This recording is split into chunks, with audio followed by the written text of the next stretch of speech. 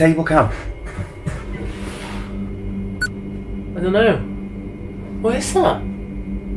It's round like. I don't know. Oh, I swear something's just moved then.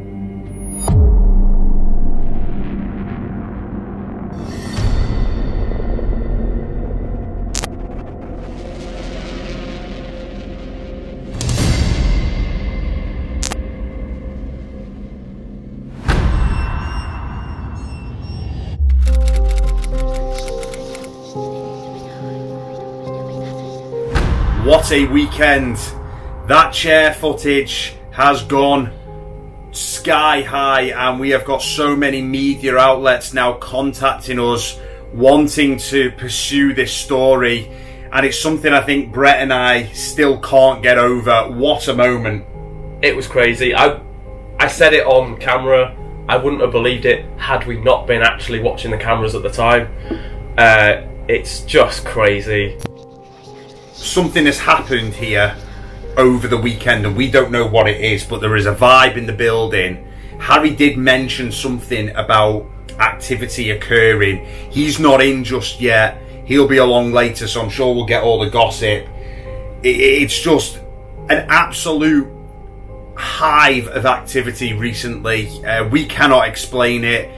That chair footage is probably right up there with, with one of the best things I've ever seen personally, and I know that you've seen as well. Yeah, it was crazy. This is the stuff that you see, like, in horror films. It was horrific. I don't know how I even brought myself to go over and pick that chair up. No. I, I think I was just like adrenaline.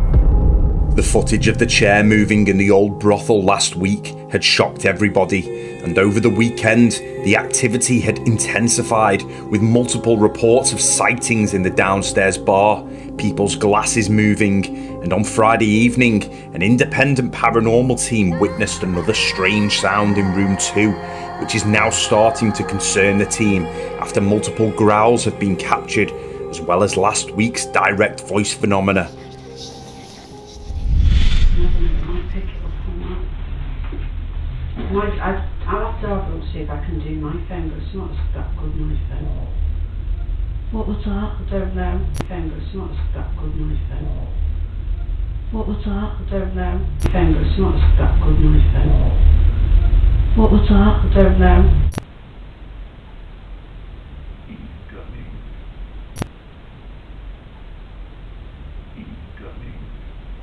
the chair moving. Um, I'm I'm gutted I wasn't there. That was phenomenal. But I said that I'm up early on a Friday morning getting the beer order in, so it seemed a little bit quiet. So I thought I'd go to bed. Yeah, It Little did you know.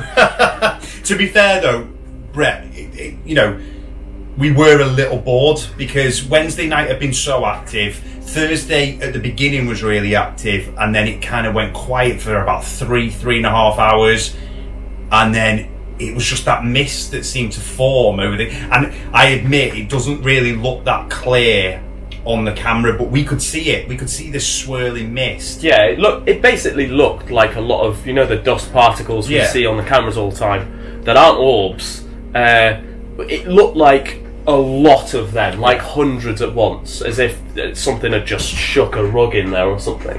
Uh, so that that was what caught our attention to it. But I, I don't know. It, I I'm still a bit in shock over it.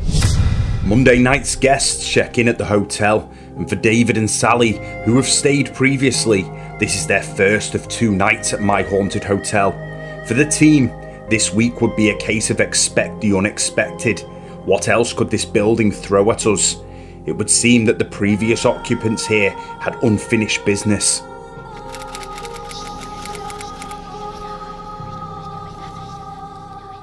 Hi, I'm David. and This is Sally. Um, this is our second time back here now. We just couldn't wait to get back. So much so, we're staying for 48 hours. Um, this is my 50th birthday present. I couldn't think of anything better to do, to be honest. um, what can we say about this place? It's just phenomenal. This is why we decided to come back. Put the bag under the table. Christ, if this is giving you nightmares, nothing wrong with it. Speaking of answer, Hey. it's not happening. Yeah. Each got a new, a new balloon there. Yeah, Brett's got a new t-shirt. Yeah, look at this. This is stunning. That is Absolutely really love this. This is uh, traced over my handwriting. Uh, the I see you that I wrote before the voice read it out loud on the Intravox the other week. Uh, this was made by Sally, who is staying with us for two nights Absolutely. this week. She, And she- not only now is he fed and watered for the rest of his life, he's now clothed. I'm I'm moving in. He's been taken in from the deep dark depths of Wrexham. Can you give us a sign that you are in the room with us? You have lots of lights on the floor. If you go towards one of them, we'll, we'll know where you are. Let me just show you the rooms. The rooms are all spooked out. Look at this. You'll look. You love this. Look at this. They are. I'll just try and swing it round. Oh, there's a loo.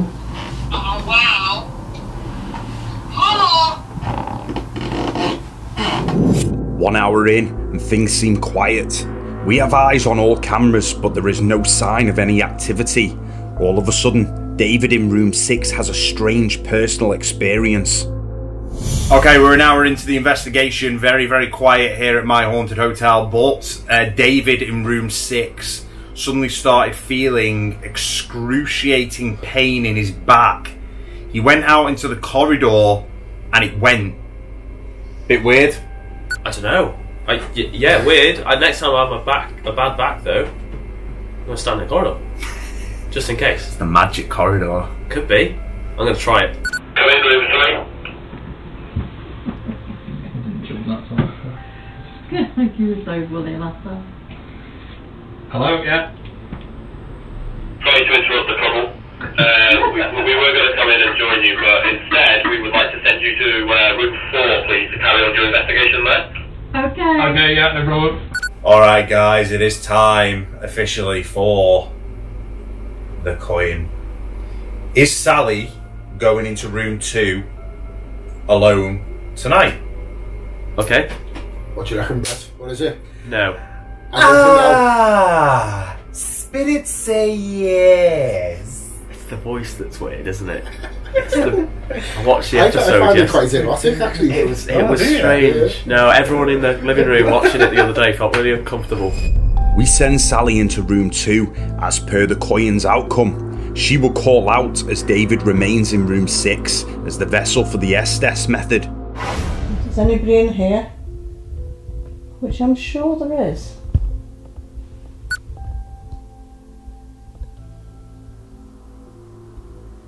If you could tell him your name.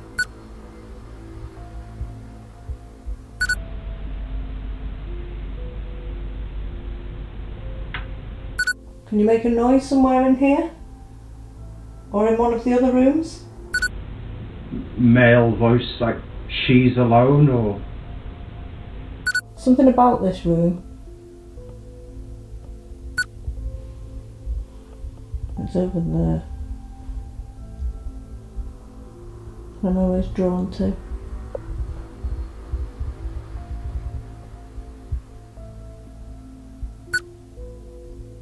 If there's somebody outside, can you come in? oh you are alone Katie's just gone off. Hello? Have you come in to see us?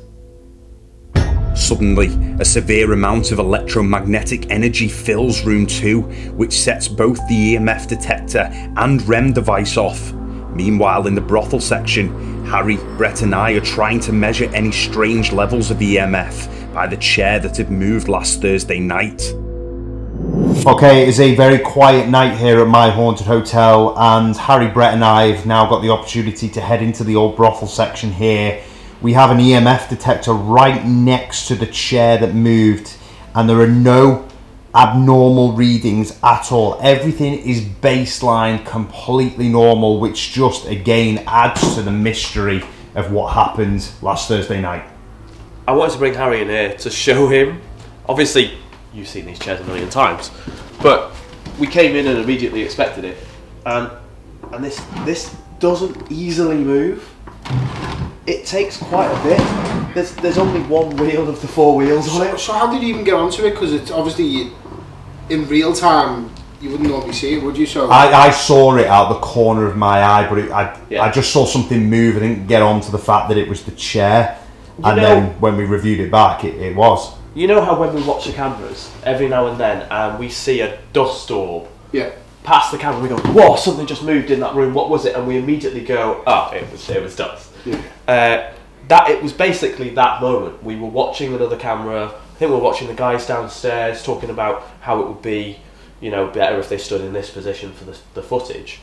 And then all of a sudden, Danny went, "What on earth is going on down there?" There was loads of dust orbs, almost, is what it looked like, like a mist in the room. right. And then as we were looking at the cameras, I'm like, oh, yeah, yeah. And then this thing just moves outwards. We are halfway through Monday night's investigation, and as is often the case with the paranormal, things are dormant and show very little signs of picking up. Happy birthday to you. Happy birthday to you. Happy birthday, dear David. Happy birthday to you. We send Deborah into the cellar to conduct a lone vigil as Carl remains in the downstairs bar. David and Sally head into room 5, which has surprisingly been very quiet over the last few days. Alright, guys, I'm not gonna lie, it's painfully slow here tonight. Um, this is just typical My Haunted Hotel. One week it can be absolutely jam packed, the next it can be really slow. So it's now time for a hashtag Stories with Harry. Well, you put me on the spot here. Come and all on. I can think of just have to take delight. And it made me think that when I was on Most Haunted in 2014, there's like a group that follows them that's like Most Haunted off all the time. And they said, I'm a disgrace to the Greek community. well, it's official because I've just had a Turkish delight. I am a disgrace to the Greek community. Because you've eaten a Turkish delight. Not because you're almost haunted. Greek Cypriots and Turkey had a big conflict, so they took over some of the island years ago. So we're not really meant to um, bother with the Turks, but I've just had the Turkish delight. But even worse than that, he was almost haunted. Would you like to come and say hello and speak to me? Do you prefer when we're on our own? Just knock or bang if you want to say anything.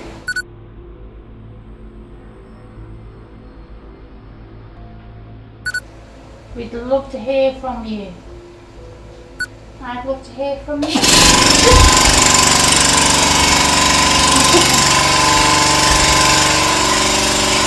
As the generator kicks in, Deb flees the cellar and meets back up with Carl. As they remain in the downstairs bar, we capture this.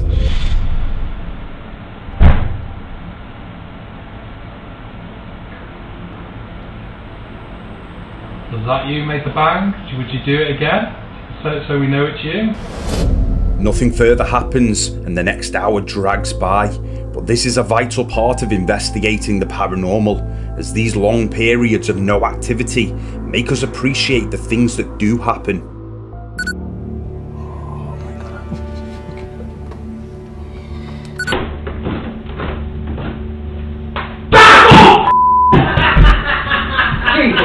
Right, I nearly died.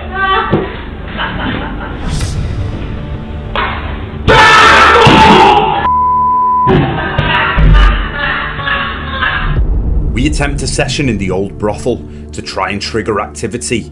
At this point, all guests have joined Harry, Brett, and I, and I am taking stills on a full spectrum camera to try and capture the famous shadow figure. Who's here with us?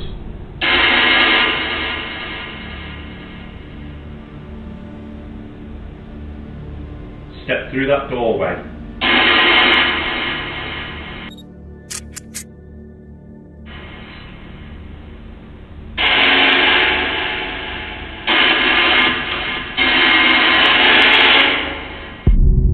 Fifteen minutes pass and nothing seems to manifest, either via the white noise generated by the Intravox or on our full spectrum camera.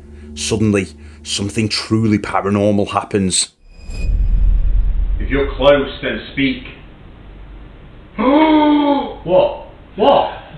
You know, What? baby crying, man. Uh, I didn't hear anything. I can't. Honest to God, there's a baby.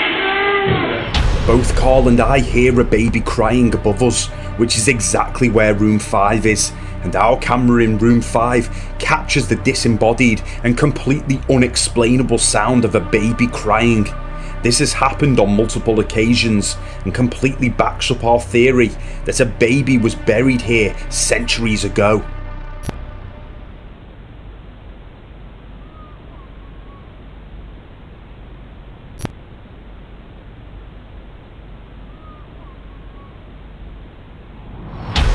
Minutes later, another amazing moment happens as I head into the Red Room to review the full spectrum pictures.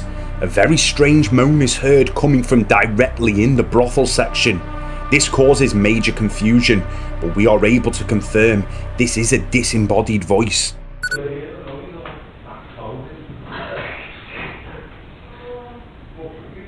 What was that? That wasn't. That was you. Someone just went. That was you. I swear to God, it was not me. That was you. That was you. Definitely you. Someone just went. No, we all heard it. That was you. It's, I swear to God, it was not me. Cameras out, I will argue with you. Check that camera back. No. I swear to God, I just heard it go.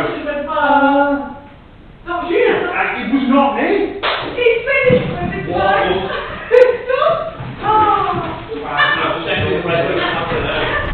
Listen to the difference in audio between the Red Room camera and the old brothel camera, and you will clearly hear that this moan comes from within the old brothel section.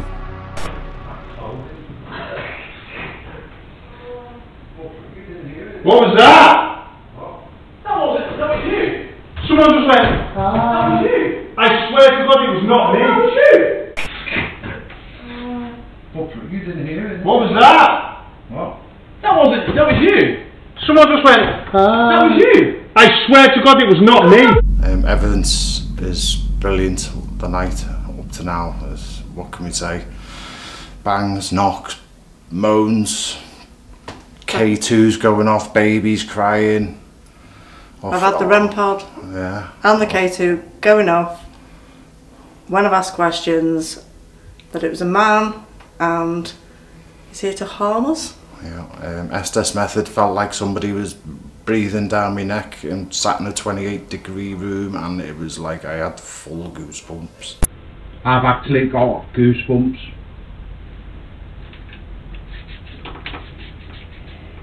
Yeah, the baby crying, obviously coming from room five, we think we've heard that in the past. What can you say? It doesn't get much better than that. we were all sat in view of each other Yeah. and you hear the a baby cry from nowhere. We also thought we heard another baby crying, but some of us heard the words dad or daddy out loud, disembodied voice. The evidence, the, the evidence and things that are happening, it, it, we've not had anything like this anywhere we've ever been. And Just hope it carries on tomorrow. What, what, let's see what tomorrow brings. We just heard baby crying twice, didn't we? Yeah, Um, unexpected. so yeah, yeah, um, probably quite productive, really. Yeah, so listening to the baby cry was um, like well, very unexpected on the way the noise was coming from, but it was really, really clear um, to hear the baby come through. And I went the moaning was uh, again not unexpected with the with what was happening at the time. See to come out of the blue, um, but was really, really clear what you know that it was a moan. Well, a tale of two halves tonight.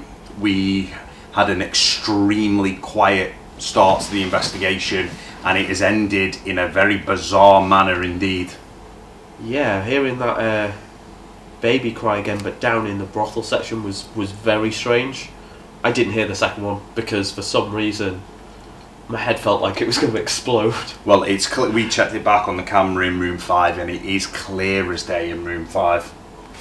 But it's that noise, that like groan, or like It's like sexual noise. It did. Sa- all right, yeah. There's no way how you're going to voice voice over this and go, oh, this week at my haunted hotel, we heard a sex noise because that is kind of what it was, right? But as funny as it is, it was a brothel. Are we picking up on a residual sound of some sexual noise? However, you know, it sounds so ridiculous, but it was so clear. I know. Lord, the, the things have happened tonight though. It's been very strange again.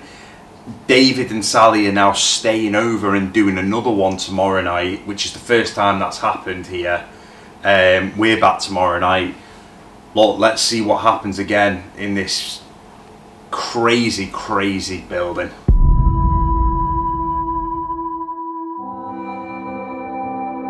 It is Tuesday night at my haunted hotel, and after an investigation which provided evidence in the final stages, we were hoping to pick up where we left off. So room two has gone very strange recently. So we've heard the voice last week.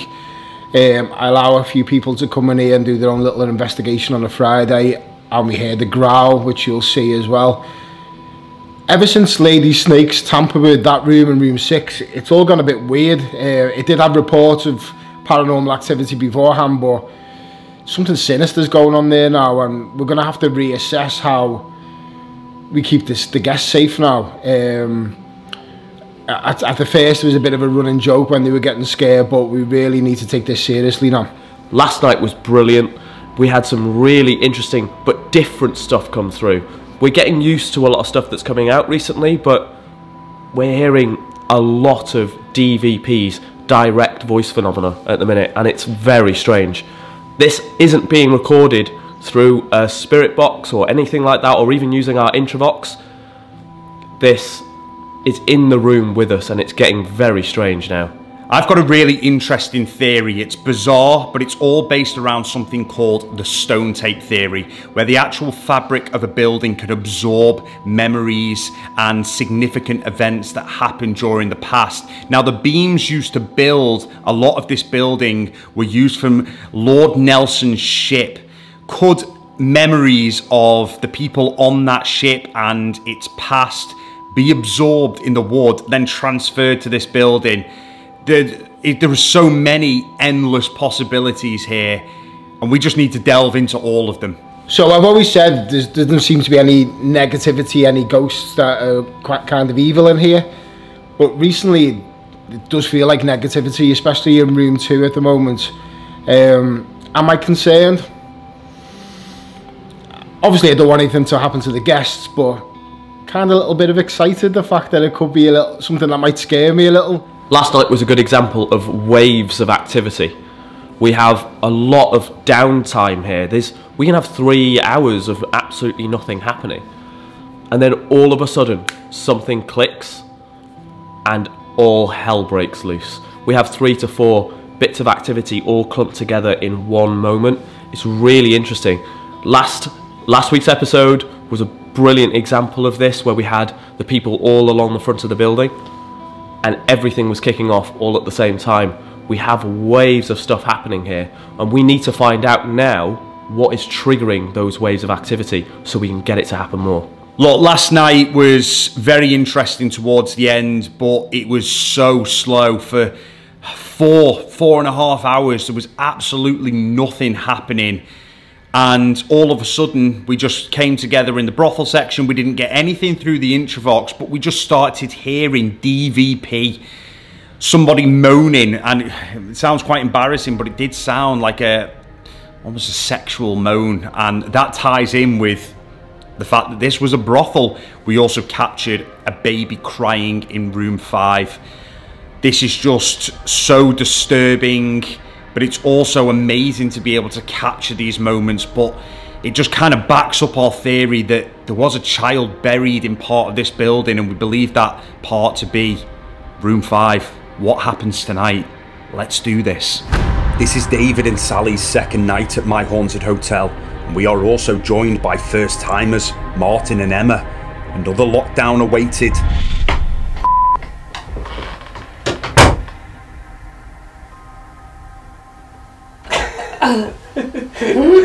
Alan?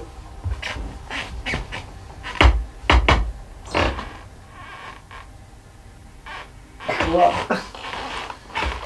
oh. Oh, for sake. I know they're everywhere. Darling, it's the best. What? Look at that.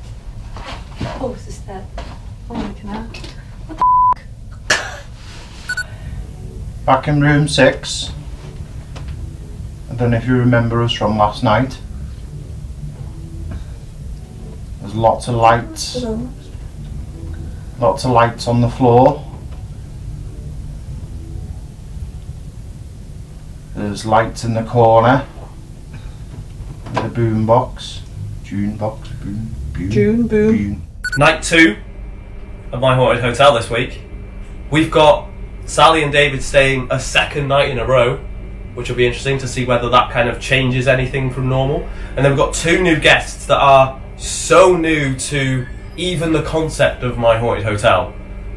They have not even seen any of the episodes, as far as we know. Boo. Well, they're just missing out. Boo. They'll learn. They'll learn. If you're going to come here, watch the episodes. I've spoken. I've spoken. What the hell did you just do?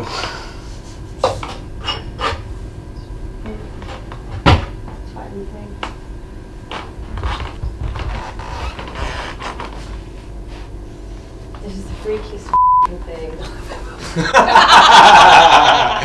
Interestingly enough, so at the end of last night, it was quite active, wasn't it? Um, they didn't experience anything overnight, and neither did Carl and Deb. So again, it's been quiet. Let's see what tonight brings. It's hot again. Let's see your theory. See if it works. Uh, it actually has a bit of a, a thundery feel to it tonight. Let's hope it thunders off. As usual, the first hour is very quiet, suddenly things go from quiet to just plain weird as we tune into room 5.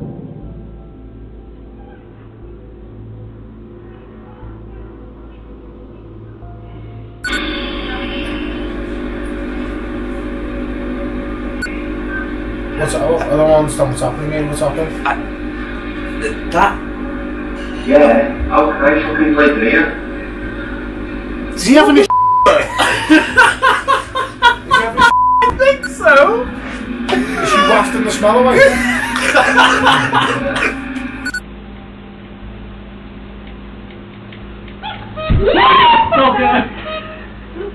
I told you that clock.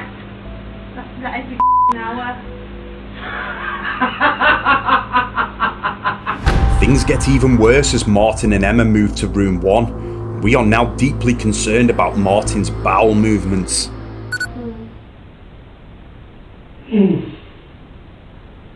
Just feels like it needs contact for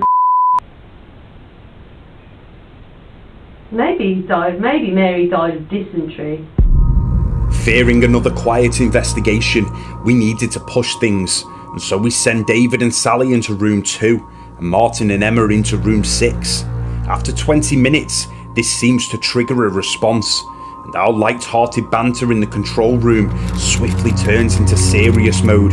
Something is about to happen, which causes great concern over room 2. If you go towards the mirror in the corner, we'll know where you are clearly. Don't be afraid of the lights. They won't harm you. Oh, you big Okay, that comes from. that that direction. Whoa, that's that side. You sure it wasn't there? Yeah, we've got some major knocking going on now. That knock again that way. That sounded like it moved. That sounded like room one.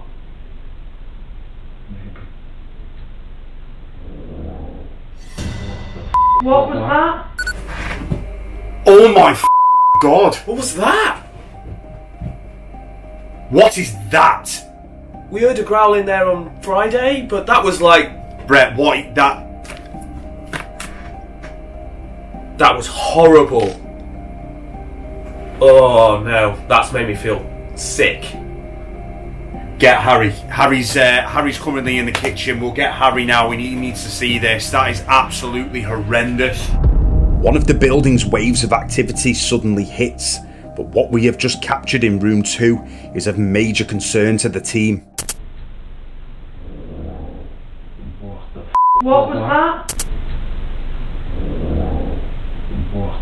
What was that? All right, Harry has uh, come back, and we have shown him the footage, which is deeply concerning at this point, and I think you'll both agree uh, that that does not sound human. And I've only ever witnessed something like that in in another location that I do called Tattenhold Hall, which is the probably the closest thing I've ever come to to what you would suggest as demonic manifestation uh, which is not something I believe in. It's not something we believe in uh, as a team, really. But that is concerning. It is because obviously, as much as you like the guests coming here, we want them to go home feeling safe, and it just seems to be escalating in that room at the moment, doesn't it? Do we need to start considering bringing in someone to do some sort of protection to that room? I know this sounds ridiculous, and it sounds stupid me even saying it out loud because I don't. But is it something we might have to consider? We send Brett upstairs into room 2, and the activity doesn't stop. In fact, it feels like we have angered something. Yeah, because it just was like. What was that? What was that? What was that? That sounded like what was that? Just turn it off. That was just gone. No, no, no. It was like a loud dragging bang noise there. There. And again. The form of spirit box David is using seems to almost mimic Brett. Take a listen. Yeah, because it just was like. What was that? What was that? What was that? That sounded like what was that? Uh, for reference to the camera, uh, Catball has just gone off. It's not in shot. Oh my god! That wasn't me. That, went. wasn't that you? That Yes, was that not. went through the floor. That was not. I, Jesus. Jesus Christ! What's going on? What's going on? There's bangs everywhere. Two huge bangs are heard coming from within room 2, and one is so powerful it physically moves the bed that Sally is sat on. We decide to move forwards with caution and bring all guests together in the function room where we arm the Intravox device and I use the full spectrum camera. Is there a woman here?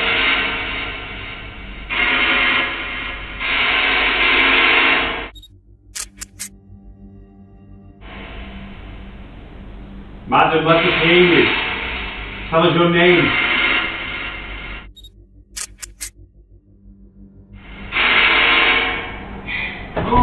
Whoa.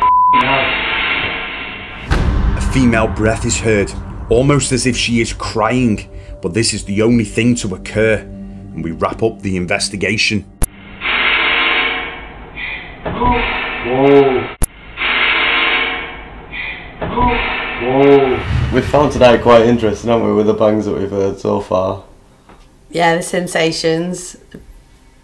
Definitely interesting. I think what we can't explain the most was the pressure when we were in room six of how we both felt really heavy. Yeah.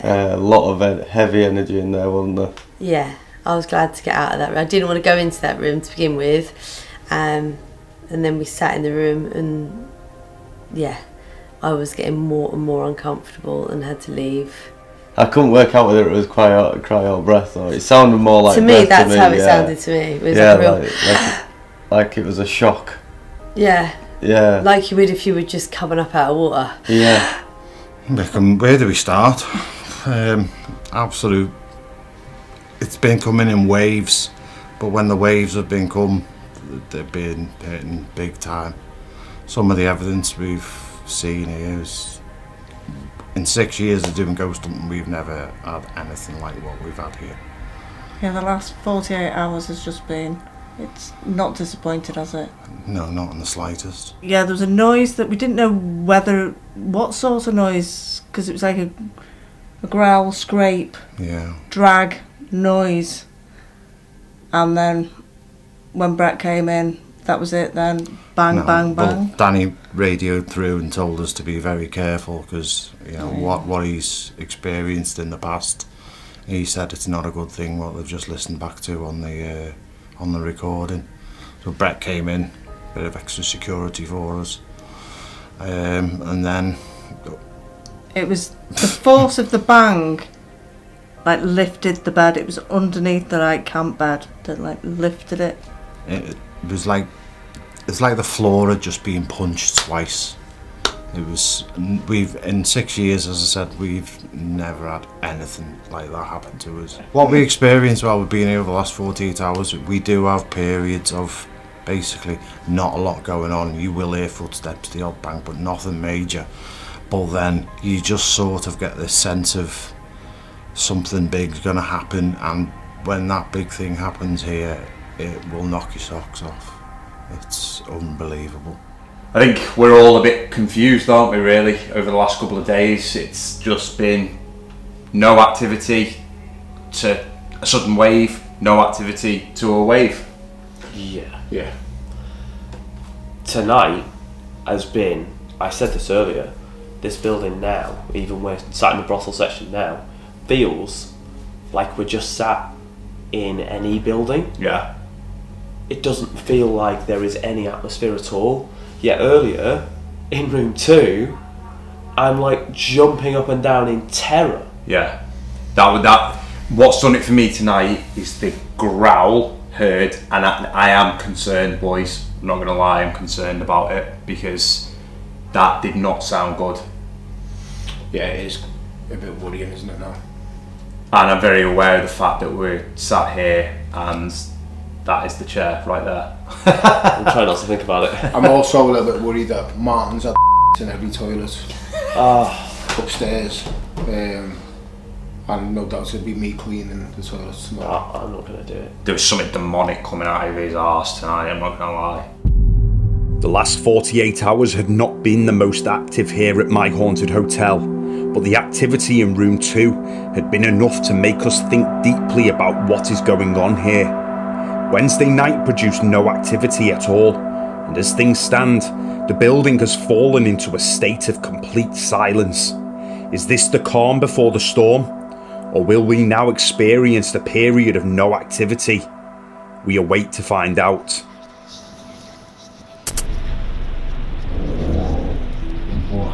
What was that? Oh my god! That wasn't me. That, went. that you? Yes, That was that went through the floor.